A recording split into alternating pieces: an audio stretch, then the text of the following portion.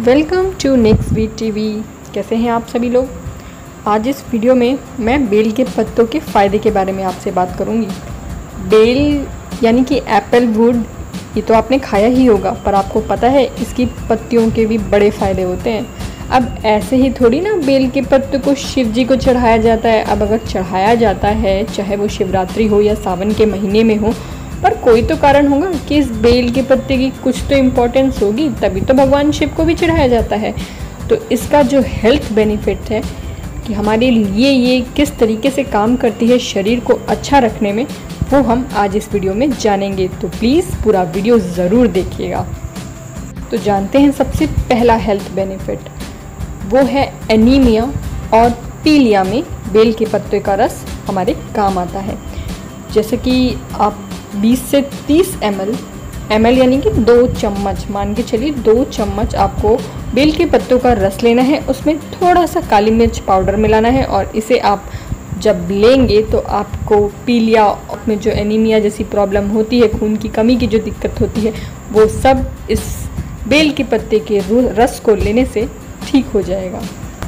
उसी तरीके से बेल के पत्ते का रस जो है वो मधुमेह यानी कि डायबिटीज़ पेशेंट्स के लिए भी बहुत अच्छा होता है।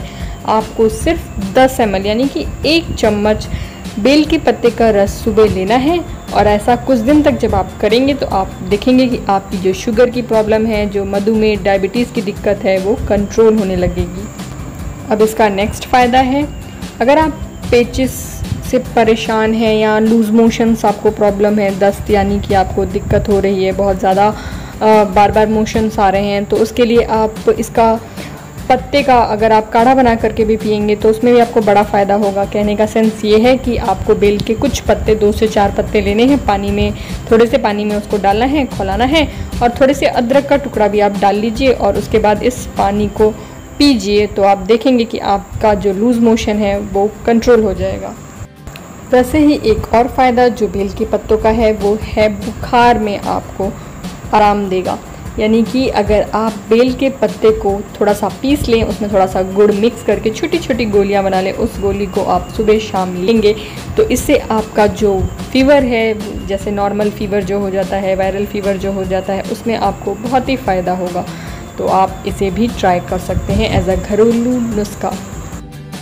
अब एक और फ़ायदा वो है, जैसे किसी के पेट में कीड़े पड़ जाते हैं या फिर आंतों में कीड़े पड़ जाते हैं तो उसके लिए आप बेल के पत्तों के रस में थोड़ी सी अजवाइन मिला करके जब खाएँगे तो इससे आपके जो पेट के कीड़े हैं वो चले जाएँगे, ख़त्म हो जाएँगे।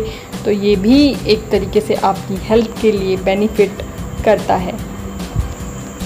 अब इसका नेक्स्ट फ़ायदा है, सर्दी, ज़ुकाम, बुखार जो कॉमन कोल्ड हो जाता है, उसमें अगर आप बेल के पत्तों के रस को लेंगे और उसमें थोड़ा सा शहद मिला देंगे और उसे आप लेंगे तो उससे आपका जो सर्दी ज़ुकाम बुखार है, वो ठीक हो जाएगा। लेकिन याद रखिएगा, एक से दो चम्मच इससे ज़्यादा नहीं लेना है।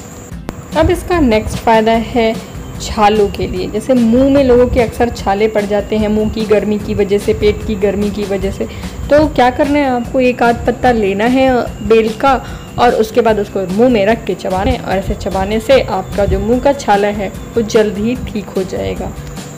अब इसका नेक्स्ट फ़ायदा है, आप के इनडाइजेशन की प्रॉब्लम में, यानी कि बदहजमी, यानी कि खाना खाने के बाद जब वो खाना पचता नहीं है, उन सब जैसी प्रॉब्लम्स के लिए भी आप बेल के पत्तों का इस्तेमाल कर सकते हैं। आप बेल के पत्तों का रस लेना है आपको एक चम्मच और उसमें थोड़ी सी काली मिर्च और थोड़ा सा काला नमक लेकर के उसको लेने से आपकी इनडाइजेशन की प्रॉब्लम में फ़ायदा होगा।